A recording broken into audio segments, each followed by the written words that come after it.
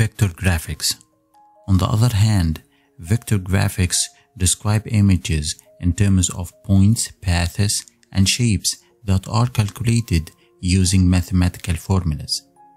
Therefore, vector graphics will always appear smooth irrespective of the scale, not like raster type. And its size is usually much smaller than raster as well. Examples of vector files are PDF, PGF, PS, and SVG. The most famous renderer that supports both vector and raster graphics is Cairo. You will find it associated with many interactive backends as well, like GTK3 Cairo. This table shows the different available renderers.